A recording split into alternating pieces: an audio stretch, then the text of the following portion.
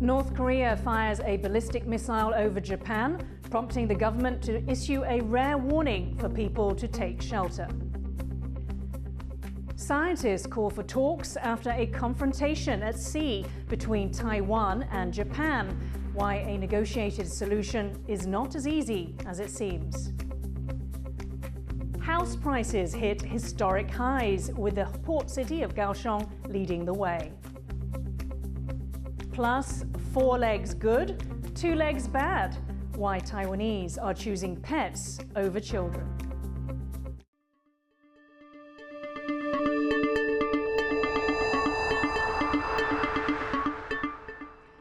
A warm welcome to Taiwan Plus News. I'm Ian Khvat.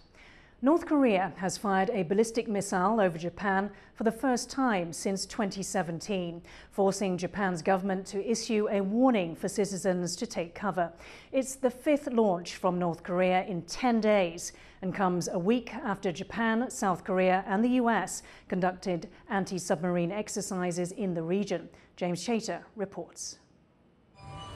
Mobile images capture a Japanese train coming to a stop as an announcement is made of a North Korean missile being fired over the country. On social media, purported footage of alarms blaring in Japanese cities. This was the alert that flashed on Japanese TV screens, telling residents in the country's northeast to take cover after Pyongyang launched its first missile over Japan in five years. North Korea's intermediate range ballistic missile, its fifth launch in 10 days, was fired from the country's Jagang region. It flew 4,600 kilometers, reaching an altitude of 1,000 kilometers, before landing in waters east of Japan. Senior Japanese politicians, including Prime Minister Fumio Kishida and his chief cabinet secretary, have condemned Pyongyang's actions as barbaric.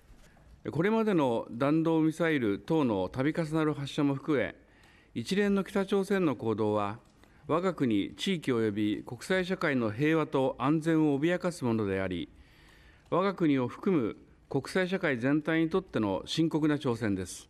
Pyongyang's longest missile launch yet comes just a week after Japan, South Korea, and the United States conducted anti submarine exercises in waters east of the Korean Peninsula, the first such drills in five years. It's a response to the growing threat from North Korean missiles launched from submarines, which they tested as recently as May this year. Since assuming office this year, South Korean President Yoon Suk yeol has taken a harder line on his northern neighbour, which some analysts believe is preparing for a nuclear weapons test later this year. Yoon has vowed to strengthen the country's security alliance with the US. South Korea, the US, and Taiwan have all condemned the latest launch. 이런 무모한 핵 도발은 우리 군을 비롯한 동맹국과 국제 사회에 결연한 대응을 대응에 직면할 것입니다. Pyongyang's missile launch over Japan marks a troubling milestone of its recent tests.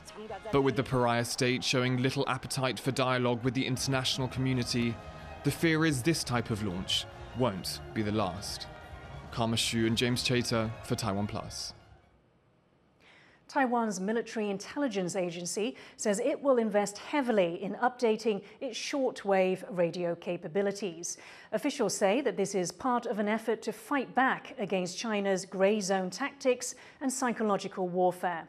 Shortwave signals from China's central broadcasting station can reach across much of Taiwan, transmitting Beijing's propaganda. By updating the equipment, Taiwan hopes to counter Chinese messaging with its own broadcasts at home, broadcasts that can also reach most of China. Military officials say that the newly updated equipment will be brought online next year. 在成平时期，这些电台可能是做一个就是呃心理战的防卫，那只有在国家进入战争阶段的时候，才会启用这种公式的广播。 Scientists are calling for Taiwan and Japan to reach an agreement on the right to do research in waters both claim as part of their exclusive economic zones. That comes after a standoff in the disputed waters late last month. John Van Trieste has the story. A confrontation at sea. On September 29th, a Taiwanese research vessel entered disputed waters off Taiwan's east coast and was stopped by a Japanese Coast Guard ship. Taiwan then sent its own Coast Guard vessel to the scene. 花莲舰发现日本公务船在新船附近海域及区前部署于新船与日船之间，并向日船广播该海域系我方专属经济海域，请日方勿干扰我研究船。 But like Taiwan, Japan says the waters are part of its exclusive economic zone, or EEZ, meaning it controls who conducts research there. The standoff lasted 10 hours until the Taiwanese research vessel left the area. Now, Taiwanese scientists are hoping to overcome the impasse, even though some say direct talks may not be possible. 台湾跟日本没办法去进行重叠专属经济海域的协商谈判，因为牵扯一个中国问题，你要试着去啊跟日本表达我们的立场 啊，然后告诉他们我们专属经济区的范围到哪边。 The One China principle means Japan cannot recognize Taiwan's sovereignty claims separately from Beijing's, which also claims Taiwan and its surrounding waters as its own. But researchers hope that Japan and Taiwan can at least reach a temporary agreement on scientific research to avoid another confrontation in this contested zone. Alex Chen and John Van Trieste for Taiwan Plus. The number of reported human trafficking cases has fallen sharply. Over the summer, thousands of Taiwanese fell victim to job scams in Cambodia. They were promised high wages and good benefits, but once they arrived, they were forced to work in fraud schemes. The government says public information campaigns and widespread media coverage has helped raise awareness about the issue. 七月达到高峰两百五十八件，那在七月二十六日，警政署 将这一类的案件予以列管，并以重大刑案侦办的时候，八月就开始下降到五十八件，九月到九月二十八日为止，只发生了一件。285 Taiwan nationals have been rescued from Cambodia and brought back home, although there are still some 4,600 Taiwanese who travelled to the country this year and have yet to return. Rescue efforts are hampered by the fact that Taiwan does not have a representative office in Cambodia. Taiwan's national home price index has logged historic new highs this quarter, with the biggest increases in the country's south. Ryan Ho-Kilpatrick has the details. House prices are shooting up, and it's the biggest year on year rise in Taiwan's history. Across the country, property costs are up over 10% from this time last year. That's according to second quarter data just released by the Interior Ministry. At nearly 14%, the biggest jump was logged in the southern port city of Kaohsiung. 薪水并没有比较多，但是房价一直在涨，就觉得哦，好像要工作很多年才可以才才可以买房这样。 To explain this leap in Kaohsiung, industry experts point to a series of science parks recently established in the city. Historically known as a shipping and industrial hub, the parks are creating higher end jobs and carving out a new niche in the local economy. Even chip making titan TSMC is moving in.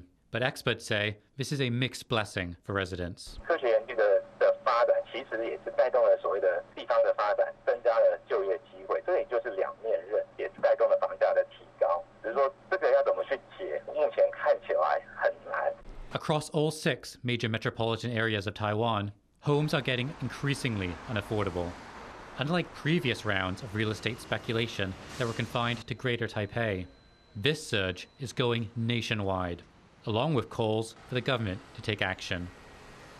Ryan Ho-Kilpatrick for Taiwan Plus. Now, Taichung is one of Taiwan's most populous cities. In its efforts to build a metro service, the city has lost a lot of money. Now, public transit experts are recommending ways of turning the deficit around. John Van Trieste reports. Just one and a half years after opening, the metro in the central city of Taichung is in a financial crunch. Early in the year, the metro company predicted daily ridership of around 54,000.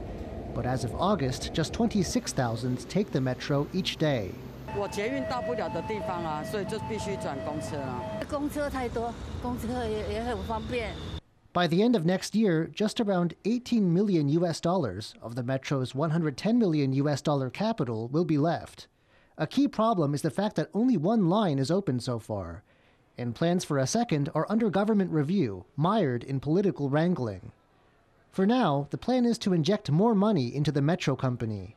那为了让一百一十三年的营运资金能够及时到位，我们预计会在一百一十二年年初就提出增资计划，交由台中市政府及议会审议。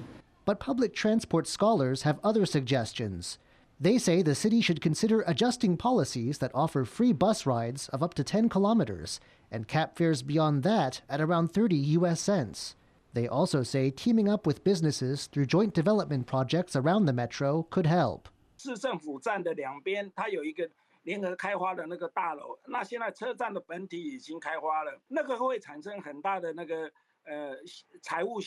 For now, the city government continues to hope it can convince its nearly 3 million residents to give the new metro a chance. Andy Xue and John Van Trieste for Taiwan Plus. As birth rates decline in Taiwan, the country is facing an aging population crisis. But as Rick Glauert reports, people are still growing their families in a different way. People in Taipei take their pets with them everywhere they go. You'll see them in cafes, on the metro, on hiking trails, and of course in the city's parks. Statistics show it's a trend that's only set to grow. For the first time ever, the number of new cats and dogs being registered in the country is outpacing the number of babies being born. In the first nine months of the year, more than 175,000 new pets were registered in Taiwan. The total number of babies born this year is expected to be less than 140,000. 狗给我们家庭带来很多欢笑啊，然后也觉得有一个成员，这个家里面的气氛呢，或是这个就比较比较满足这样的，对，哎。Taiwan's birth rate is one of the lowest in the world, creating an aging population crisis. By 2025, one fifth of Taiwanese will be over 65, putting a strain on the workforce, the healthcare system, and even the country's military. Experts say rising costs of living, particularly sky high house prices, and more women heading to work are behind the decline. Despite government subsidies to marry and have kids, it is four legged friends that are rising in popularity. 就是大家当然会觉得，就是养小孩当然很好，但是带来的压力跟就是经济反而是更更大的，所以大家就会选择就是养毛小孩。 With a human population of 24 million, Taiwan is now home to 2 million registered pets, raising questions about what role these furry friends who don't go to work or pay taxes are going to play in the country's future. Damon Lin and Rick Glauert in New Taipei City for Taiwan Plus. Taiwanese animal lovers are celebrating World Animal Day, an international day to advocate for the rights and welfare of animals. Events in Taiwan saw vets offer free checkups for pets, while activists encourage responsible pet ownership, as well as adopting pets instead of buying them. Taiwan has laws protecting animal rights, but some activists say the country could do better. 其实，在二零一七年的时候，我们就已经实施临安了，但是现在，嗯，相关的配套并没有做好，所以各地的收容所其实是暴龙的。Coming up here on Taiwan Plus, the definition of a COVID reinfection is being changed. We'll explain why after the break.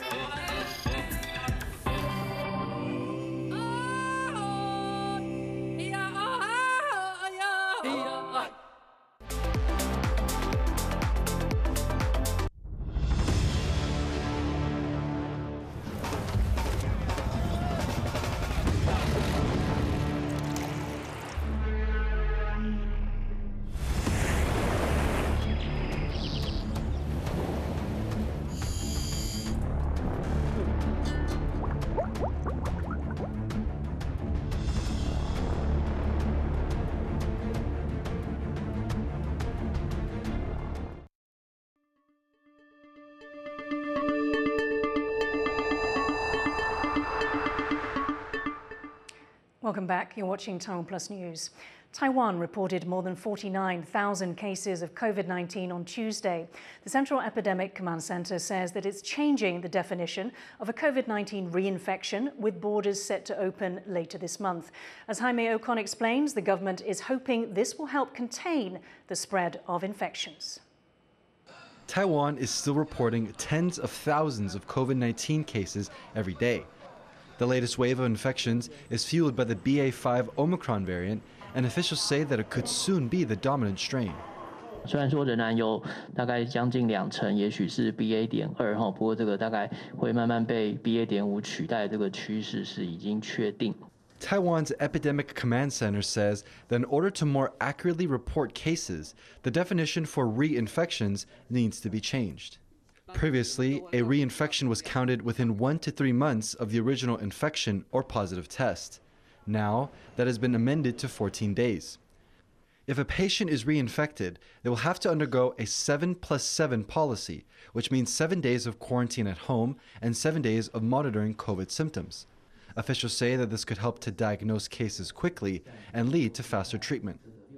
症状恶化，或者是说有新的这些呼吸道症状的民众，在就医的时候，更能够被医师来依据这样的条件来确诊跟给予相关的一些治疗处置。哈，那对于我们的防疫来讲，可能是会有更好的一个帮助。Health officials are also warning the public of the upcoming flu season, which they say might increase the spread of transmission and could also arrive earlier than expected. 台湾大概十一月就开始有一些那个流感高峰期，但是今年看起来是比较，感觉上是比较早一点发现。After more than two years, Taiwan is set to open its borders in mid October. The latest directive from the government is seen as an effort to manage COVID while also living with the virus. Alex Chen and Jaime Ocon for Taiwan Plus.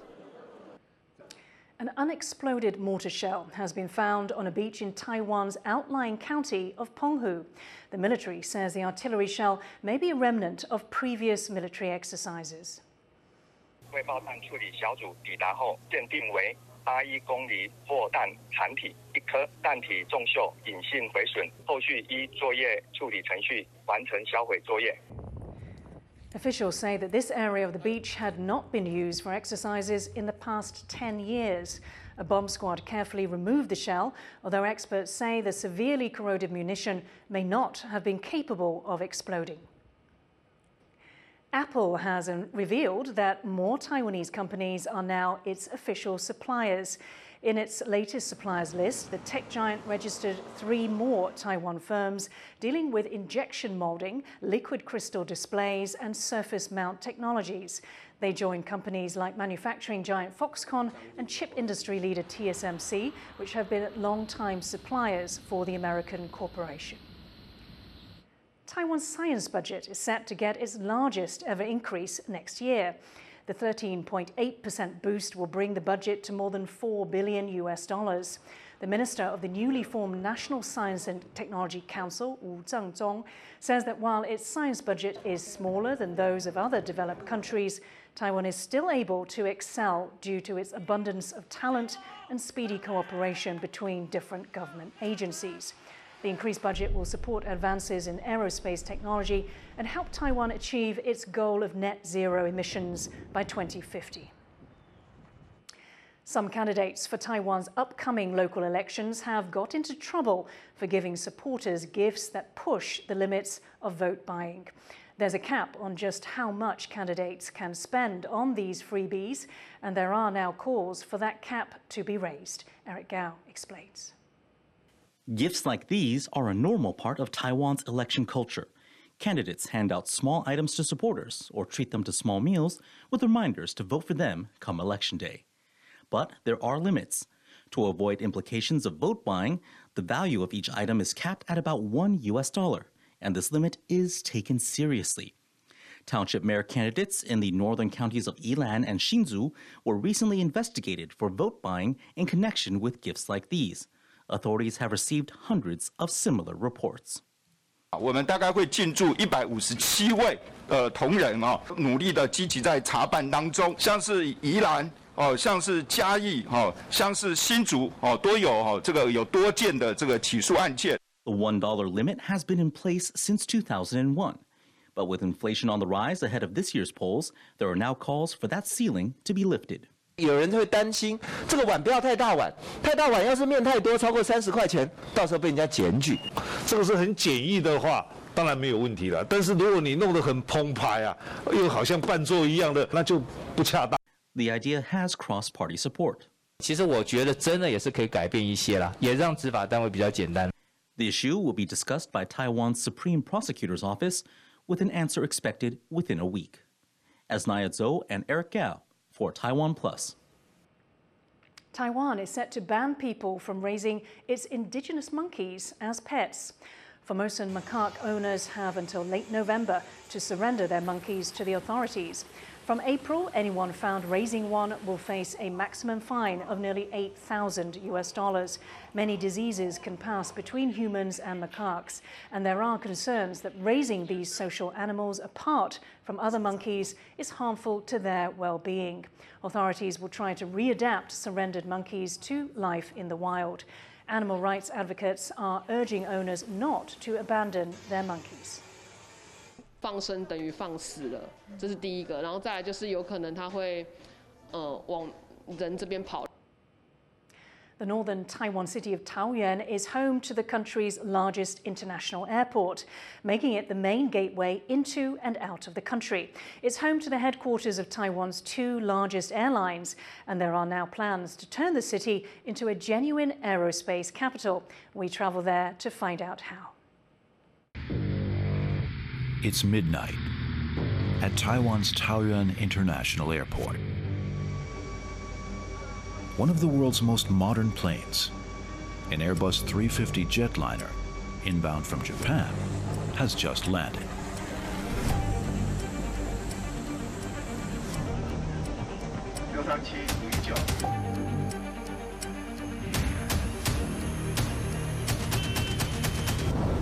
A maintenance team takes over the long-range airliner. In the next few hours, crew members will perform checks, repairs, and adjustments to ensure the safety of the Airbus's 300 passengers. 50 kilometers south of Taipei, Taiwan's capital, Taoyuan is a city with different facets.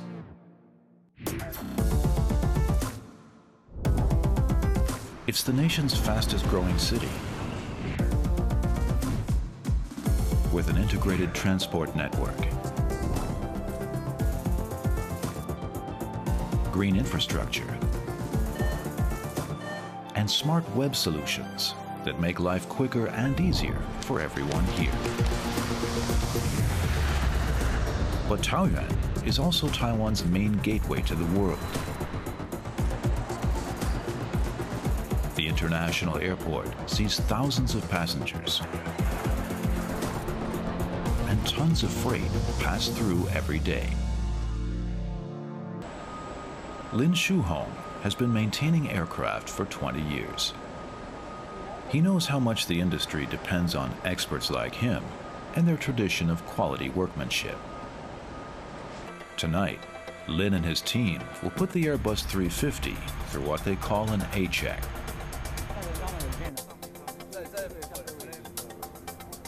Airliners undergo this critical routine every 400 to 600 flight hours.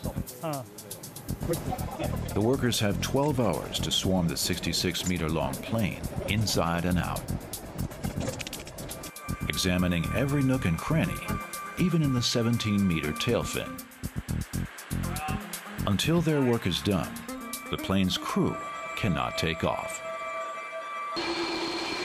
Every year, nearly 250,000 aircraft fly to Taoyuan for checks, repairs, and overhauls, generating nearly $2 billion in revenue. It makes the city a leading maintenance center in Asia. 桃园机场本身基本上它的这个地理位置来看的话，是属于东南跟东北的转运站。那同时我们都知道这边有很好的高铁啊、捷运啊、未来的桃园绿线啊等等，基本上在交通枢纽部分也可以跟未来的两大城市桃园跟台北哦做一个结合，甚至于到基隆，所以这个都是在桃园机场的相对未来航太发展的利基。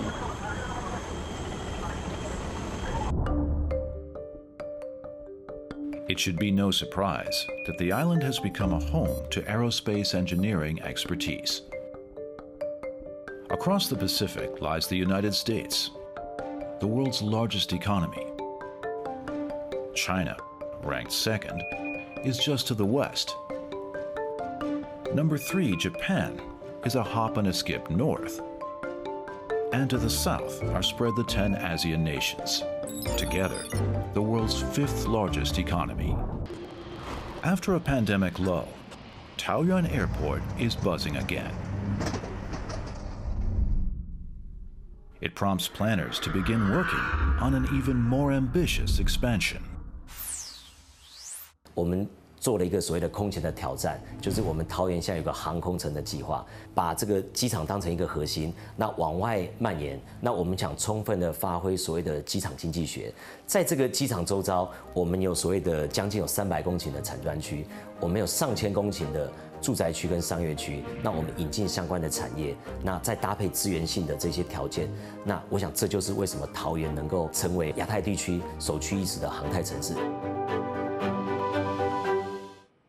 Thank you for watching Taiwan Plus News. Remember to download the Taiwan Plus app for more stories from Taiwan and around the world. Finally, as today is World Animal Day, we leave you with images of endangered species in Australia. The country's government is targeting zero new extinctions in a bid to protect endangered plants and animals. I'm Ian Khvat. Take care and see you next time.